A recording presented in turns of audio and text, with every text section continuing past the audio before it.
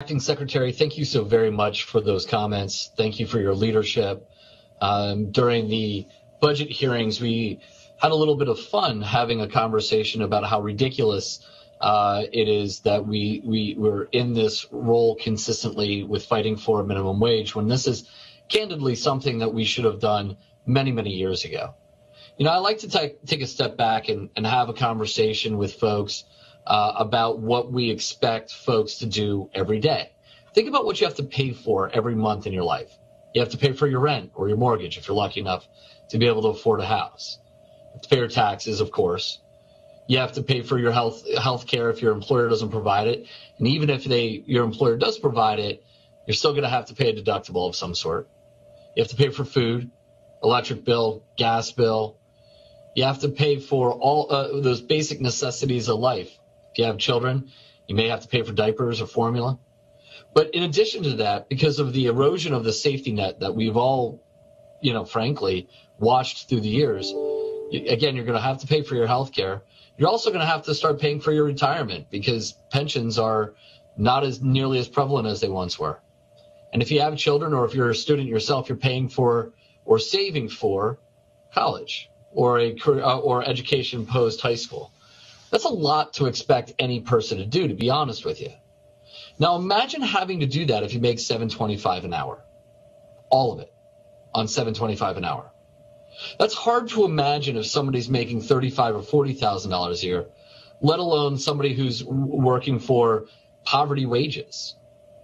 Now, I'll hear folks talk about minimum wage as the thing that really only impacts young employees. You know, just a 16, 17 year old kid down the street who's trying to make a couple of extra bucks so they can buy a new video game, save for a car or something like that.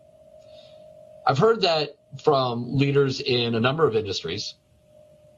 And every single time I hear that, um, candidly, I really have to watch my anger. Because number one, the value of somebody's uh, labor is the value of somebody's labor regardless of their age. Number two, although I don't necessarily like look like this, I was a really poor kid growing up. I know I don't necessarily look like the face of urban poverty today, but I lived in nine places by the time I was 18 years old. When I had my minimum wage job making four and a quarter an hour at a local mom and pop grocery store, I was using that to help people pay, help my family make ends meet. And then when I had a similar job when I was in college, I worked 40 hours a week at near minimum wage to be able to afford my college education. I was not one of these kids that was using those dollars to be able to buy the next Nintendo game.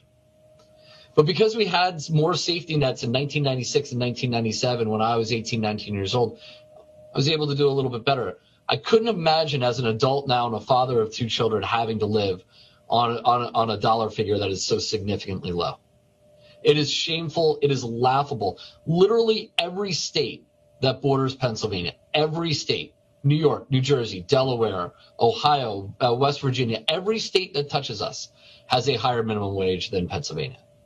It is well past time that we provide our workers with the with the most basic labor protection we can give them, which is a, a wage that is commensurate with the actual value, the value of the labor that they are providing our communities every day. So once again, uh, Madam Acting Secretary, thank you so very much for your for your leadership on this one. Thank you for being a partner with us all.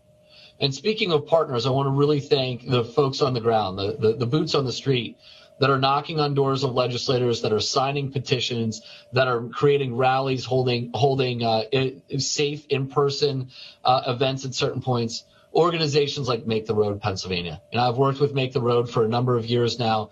And we've done a lot of um, very important social social welfare work and social justice advocacy work here in Allentown. And I couldn't be prouder to call them partners of mine.